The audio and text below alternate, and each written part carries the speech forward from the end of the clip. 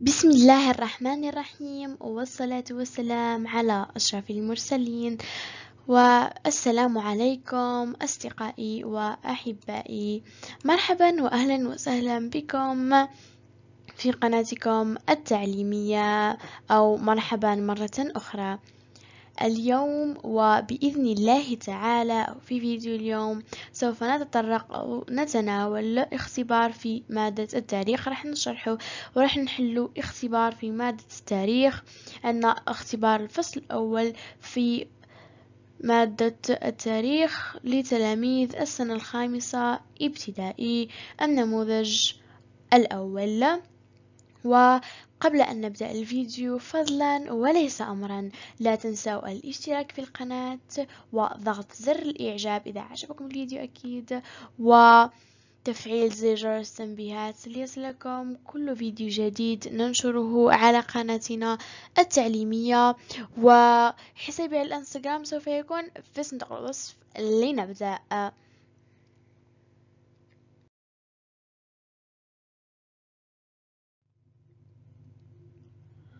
التمرين الأول.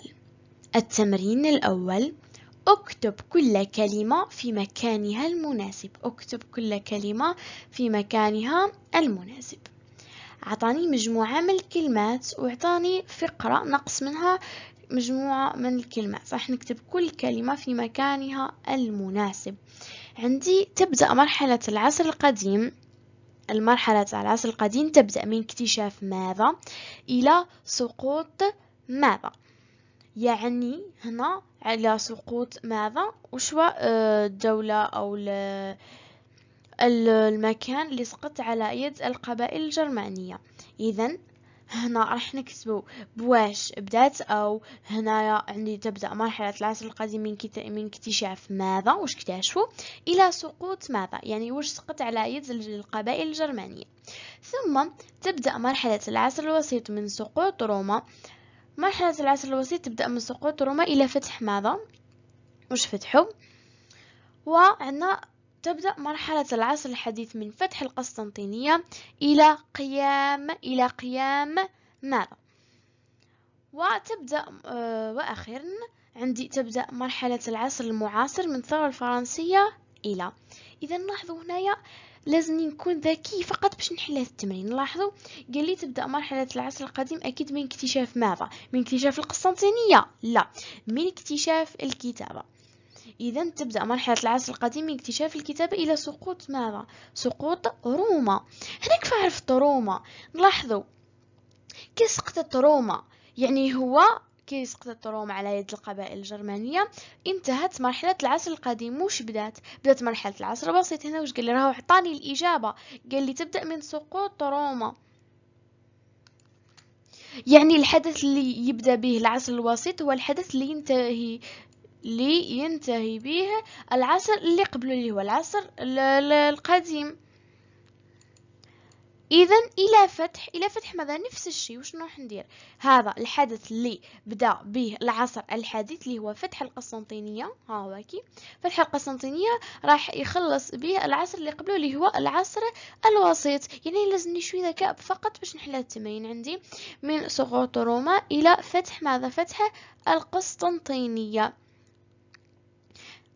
الآن عندي تبدأ مرحلة العصر الحديث من فتح القسطنطينية إلى قيام ماذا؟ إلى قيام أكيد الثورة الفرنسية وإلى إلى يومنا هذا يعني هنا رانا نكتبوا بواش تبدا كل مرحلة من هذه المراحل الأربعة وبواش تنتهي. تبدأ مرحلة العصر القديم من اكتشاف الكتابة إلى سقوط روما وهذا كان على يد القبائل الجرمانية. تبدأ مرحلة ثانية. المرحلة الثانية اللي هي مرحلة العصر الوسيط.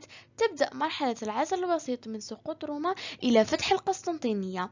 وثالثا مرحلة العصر الحديث. تبدأ مرحلة العصر الحديث من فتح القسطنطينية إلى قيام الثورة الفرنسية. ورابعا تبدأ مرحلة العصر المعاصر. رابعا العصر المعاصر. تبدأ هذه المرحلة من الثورة الفرنسية من الثورة الفرنسية إلى يومنا هذا يعني مازال مستمر يعني إلى اليوم تاعنا هذا.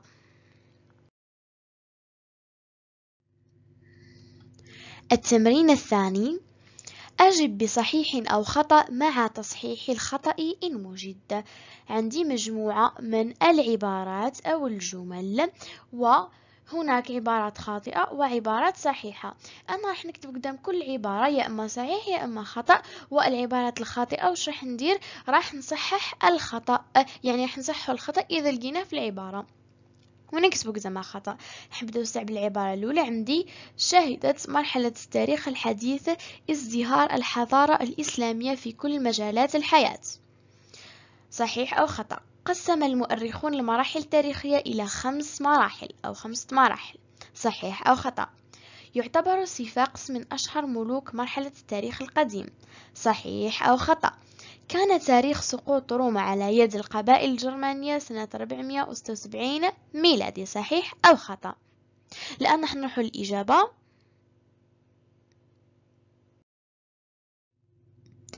الإجابة. قال لي أول جملة شهدت مرحلة التاريخ الحديث ازدهار الحضارة. يعني مرحلة التاريخ التاريخ الحديث في هذه المرحلة ازدهرت الحضارة الإسلامية وهذا في كل مجالات الحياة يعني مجالات الحياة كامل. اقتصادية سياسية هنا خطأ.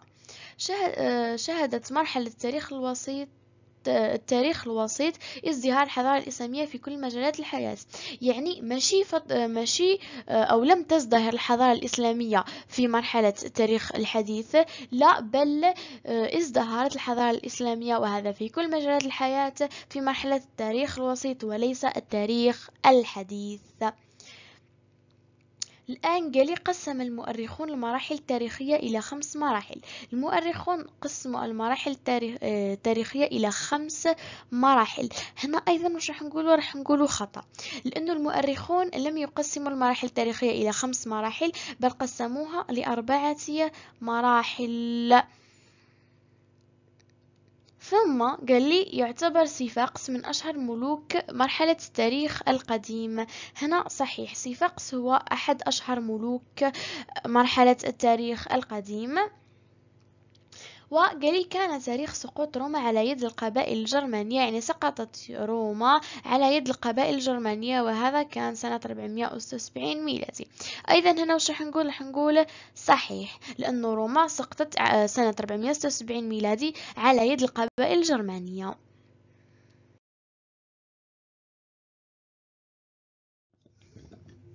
التمرين الثالث. التمرين الثالث قال لي أربط بسهم أربط بسهم. هنا عندي مجموعة من العبارات أو مجموعة من الأحداث. مجموعة من الأحداث. الآن عندي من الجهة الثانية هذه الجهة الأولى من الجهة الثانية وش عندي؟ عندي المراحل التاريخية الأربعة. عندي المرحلة الأولى المرحلة الثانية المرحلة الثالثة والمرحلة الرابعة. هذو الأربعة مراحل هذو. الآن عندي أولا ظهور الثورة الصناعية. يعني كل حدث راح نربطه بالمرحلة اللي حدث فيها. عندي أول حدث اللي هو ظهور الثورة الصناعية. ظهور الثورة الصناعية كان أو حدث في مرحلة التاريخ الحديث. ظهور الثورة الصناعية يعني بدأ كما نقولوا ثورة صناعية كما نقولوا بدأت الصناعة تزدهر. يعني بدأوا يتطوروا. عندي ثانيا الكتابة. الكتابة عندي حدثت أو مع اكتشاف الكتابة يعني مع اكتشاف الكتابة بدأت مرحلة التاريخ القديم. يعني اكتشفوا الكتابة بدأت أو كي اكتشفوا الكتابة بدأت مرحلة التاريخ القديم. إحنا عندنا مراحل ما قبل التاريخ والمراحل التاريخية. كاين زوج عندي مراحل ما قبل التاريخ. ما معنى ما قبل التاريخ؟ نقول ما قبل التاريخ شغل راني قلت قبل ما يكتشفوا الكتابة. نقول مراحل تاريخية معناها من اكتشفوا الكتابة وروح إلى يومنا هذا. إذا عندي الكتابة. هنا الكتابة آه عندي مرحلة التاريخ القديم. الآن عندي مولد النبي محمد صلى الله عليه وسلم. مولد النبي محمد صلى الله عليه وسلم هو ولد في عام هو ولد هو صلى الله عليه وسلم ولد عام الفيل. عام الفيل قلنا من 570 ميلادي أكيد إلى 571 ميلادية إذا هنا هو يعتبر حدث في مرحلة التاريخ الوسيط. وإحنا نعرف نعرفوا باللي مرحلة التاريخ الوسيط تمتد من 476 ميلادي إلى 1453 ميلادي وهو وهو ولد في عام الفيل يعني هنا عام الفيل قلنا يمتد من 570 حتى ل 571 يعني محصورة بيناتهم يعني في مرحلة التاريخ الوسيط. إذا هنا جاوبنا على اللي بعدها قلنا آه، من 476 ميلادي. 476 ميلادي كان تاريخ سقوط روما و 1453 ميلادي كان من آه، تاريخ أو كان تاريخ فتح القسطنطينية ولا سقوط القسطنطينية يعني إذا قال لكم فتح القسطنطينية ولا هي صحيحة وإذا قال لكم سقوط القسطنطينية في يد المسلمين هنا ثانية راح تكون صحيحة. الآن قال لي الحربان العالميتان. الحربان العالميتان أكيد في مرحلة التاريخ المعاصر ونشأة الحضارة المصرية يعني الحضارة المصرية النشأة نتاعها. هنا نلاحظوا نشأة الحضارة المصرية كانت قديما يعني كانت في مرحلة التاريخ القديم. الوضعية الإدماجية. قسم المؤرخون المراحل التاريخية إلى أربعة مراحل. المؤرخون قسموا المراحل التاريخية لأربع مراحل. راح نكتبوا فقرة نتحدث فيها على رابع مرحلة من هذه المراحل مع ذكر أهم مميزاتها وأهم الشخصيات التي عاشت فيها. راح نتكلموا على رابع مرحلة اللي هي أكيد أكيد اللي هي مرحلة التاريخ المعاصر. راح نذكر المميزات تاعها أو أهم المميزات تاعها وراح نذكر أهم الشخصيات اللي عاشت فيها.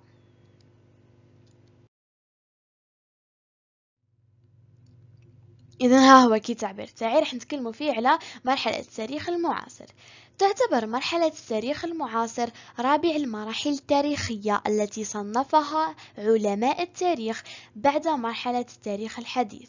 وتمتد هذه المرحلة من الثورة الفرنسية سنة 1789 ميلادي إلى يومنا هذا. شهدت أو شهدت هذه المرحلة العديد من آه العديد من الاكتشافات العلمية والتطور التكنولوجي وكان أبرزها خروج الإنسان إلى الفضاء الخارجي. وسياسيا عاشت الإنسانية أحداث الحربين العالميتين الأولى يعني الحرب العالمية الأولى والحرب العالمية الثانية. هذا أحد مميزاتها. وأيضا الإنسان قد قدر أنه يخرج للفضاء الخارجي وظهور الحركات التحررية كما قامت فرنسا باحتلال الجزائر وهذا كان سنة 1830 ميلادي. وتمكن الجزائريون الجزائريون تمكنوا من استرجاع سيادتهم الوطنية وهذا كان سنة 1962 ميلادي. ولعل أهم الشخصيات الجزائرية التي عشت في هذه المرحلة يعني مرحلة التاريخ المعاصر هو الأمير عبد القادر بن محي الدين الذي يعتبر رائع هو كان أحد أهم شخصيات لأنه يعتبر مؤسس الدولة الجزائرية الحديثة وأيضا آه، قام بالكثير من الأشياء. اللي خلاته يكون آه، آه، واحد من أهم الشخصيات الجزائرية اللي عاشت في هذه المرحلة.